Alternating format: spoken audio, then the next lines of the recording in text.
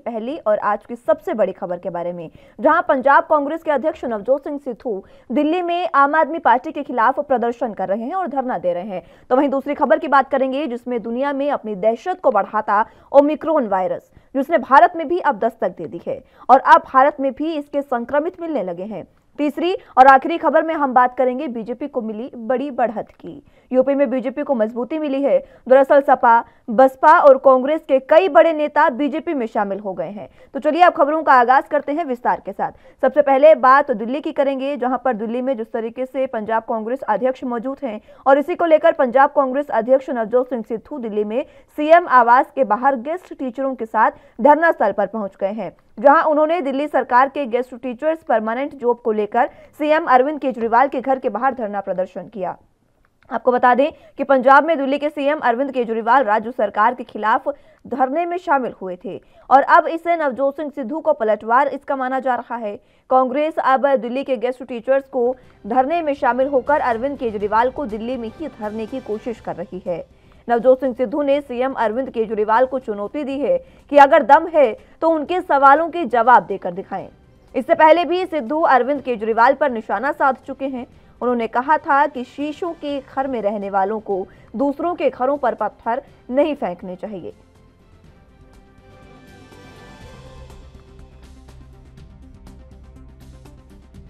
उतना ही दिया जाएगा और जो कॉन्ट्रैक्ट पे उनको रेगुलर किया जाएगा।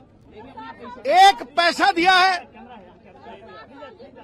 एक बात ये बताएँ, मैं पंजाब में भी यही रोता रहता हूँ। कि बजटरी एलोकेशन करो और नीति योजनाबद्ध तरीके से विकास करो। तो बताओ आपकी कौन सी नीति है? ना नीति है, ना नियत है।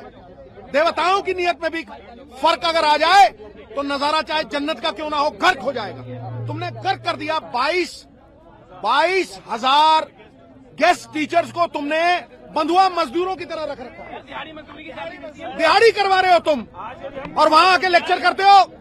पहले अपना तो इसी खबर पर ज़्यादा जानकारी के लिए मेरे साथ मेरे सहयोगी पल्लवी राजपूत न्यूज़ रूम से लाइव जुड़ चुके हैं। पल्लवी जो, देखिए, जिस तरीके से अब नवजोत सिंह सिद्धू ने दिल्ली में आकर सीएम केजरीवाल के घर के बाहर जो प्रदर्शन किया है, ये काफ़ी अहम इसलिए भी हो जाता है क्योंकि इससे पहले कुछ दिन पहले हमने देखा था जब अरविंद केजरीवाल पंजाब गए थे और वहाँ जाकर उन्होंने सरकार के खिलाफ धरना दिया था। तमाम समीकरणों को किस तरीके से आप देख रहे हैं?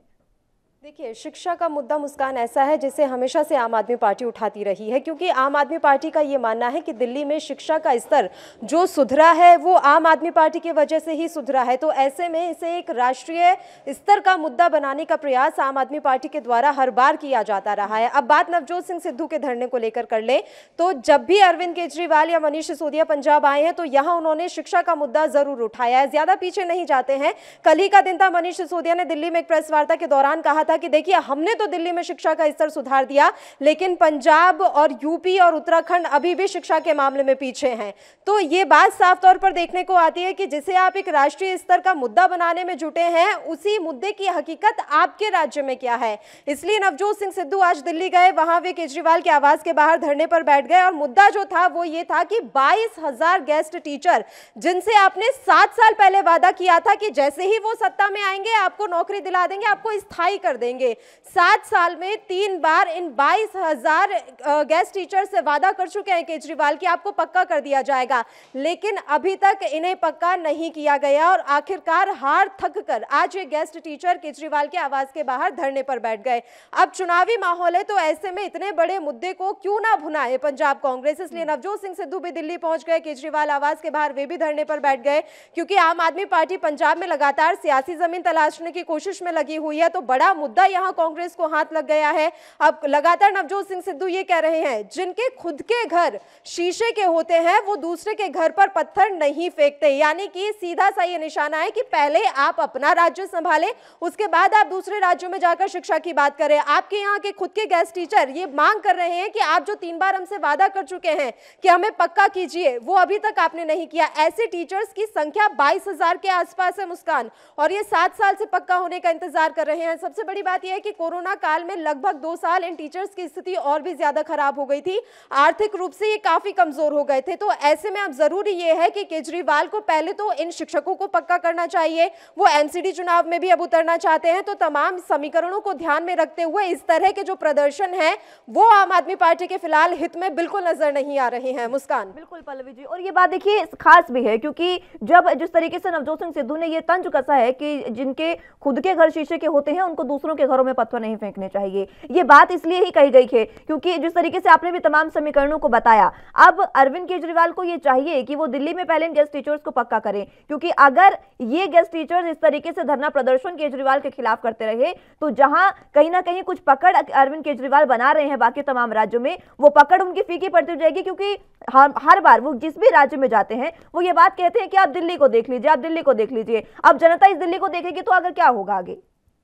जनता दिल्ली को ही देखेगी, क्योंकि वो हर जगह दिल्ली का ही मॉडल पेश करते हुए नज़र आते हैं। और शिक्षा की हम बात कर लें, क्योंकि ये गेस्ट टीचर जो हैं, शिक्षा विभाग से जुड़े हुए हैं तो ये ठीक है कि दिल्ली में शिक्षा का स्तर अरविंद केजरीवाल के आने के बाद सुधरा है, क्योंकि दिल्ली नगर निगम के पास जो है, वो सिर्फ़ 1600 के आसपास स्कूल हैं और उनकी स्थिति दिल्ली के सरकारी स्कूलों से बेहतर नहीं है। तो स्कूलों पर काम किया है अरविंद सरकार ने, लेकिन आप ये कह दें कि हम उसका मॉडल बनाकर अन्य राज्यों में पेश कर लें तो ये अभी आपके लिए मुमकिन नहीं है, क्योंकि आप खुद देख रहे हैं कि आपके यहाँ के गेस्ट टीचर अभी तो पक्का होने का इंतज़ार कर रहे हैं। इसके अलावा हमने शुरू से देखा है कि निजी स्कूलों की छातियों पर धनिया कूटने वाले अरविंद केजरीवाल लगातार निजी स्कूलों के पीछे पड़े रहे, लेकिन सरकारी स्कूलों की स्थिति इतनी भी बेहतर नहीं है। अभी भी जगह जगह से ये तस्वीरें सामने आ जाती हैं कि जो बच्चे हैं, वो टाट पर बैठे हुए हैं, गंदा पानी पीने को मजबूर हैं, उनके पास खुली छत है, बस वहाँ वो बैठकर पढ़ाई कर रहे हैं।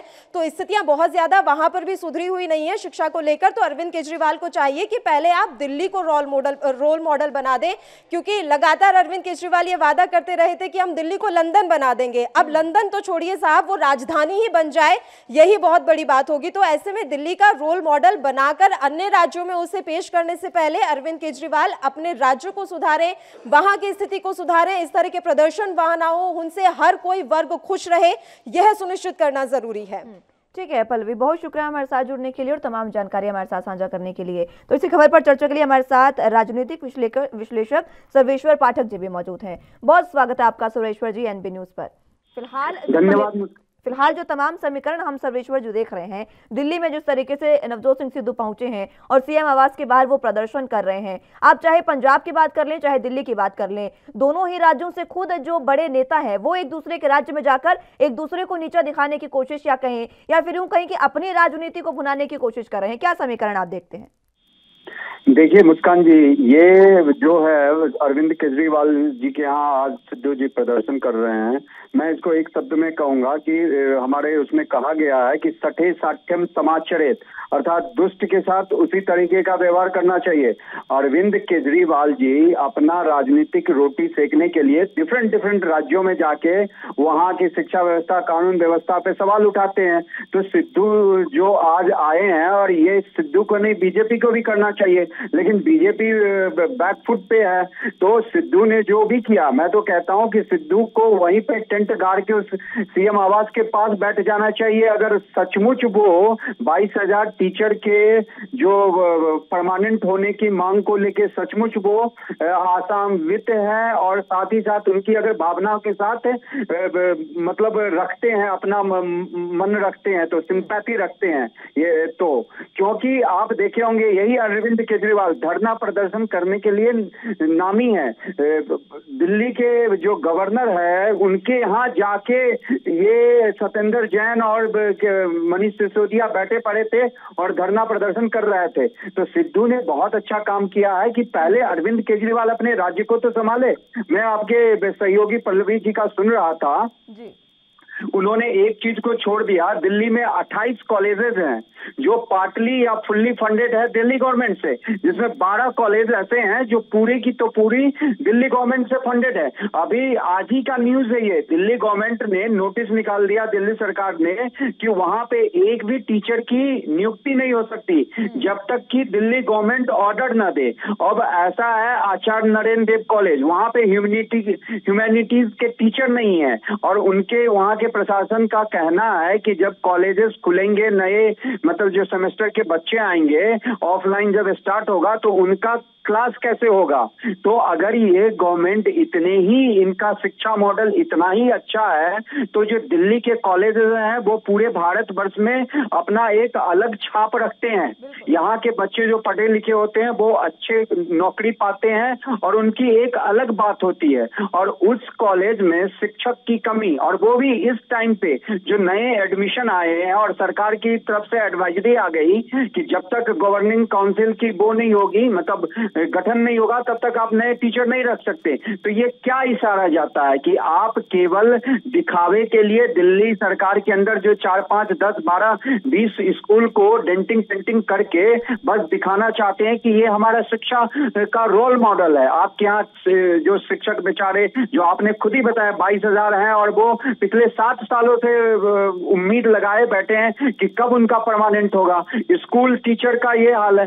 कॉलेज शिक्षक को आप समय पे वेतन नहीं देते हो। और जो जहाँ कमी है टीचरों की नए यूनिवर्सिटी और कॉलेज बनाने की तो छोड़िए। अभी आप देखते होंगे आज ही के पेपर में फुल पेज एडवर्टीजमेंट है कि वो, वो साढ़े नौ एवरी संडे को जो स्कूलों में एक वो जो आया है कि आप अपनी मतलब काम खुद करिए स्टूडेंट को स्किल डेवलपमेंट कराने से लेके। आप ऐड देने में तो बहुत हो लेकिन उस बच्चे को जो टीचर पढ़ाएगा उसको कौन अपॉइंटमेंट करेगा? उसकी सुविधा उसका वेतन कौन देगा? जरा उस पर भी अरविंद केजरीवाल बात कर लेते जितना ऐड देने में उस मतलब का इन्होंने पैसा खर्चा किया है उतने में तो कितने टीचरों की सैलरी हो जाती हम्म, कितने स्कूल के टीचर की या प्रोफेसर बात यह है कि अरविंद केजरीवाल जो हर जगह दिल्ली मॉडल का हवाला देते हैं और हर जगह कहते हैं कि आप दिल्ली से सीखिए दिल्ली को देखिए और दिल्ली की तर्ज पर हमारी सरकार बनाइए। लेकिन साफ़ सी बात सीधी ये है कि उनको अभी फ़िलहाल दिल्ली पर ही बहुत ज़्यादा ध्यान देने की ज़रूरत है। बहुत शुक्रिया सर्वेश्वर जी हमारे साथ जुड़ने के लिए और तमाम जानकारी और चर्चा हमारे साथ करने के लिए।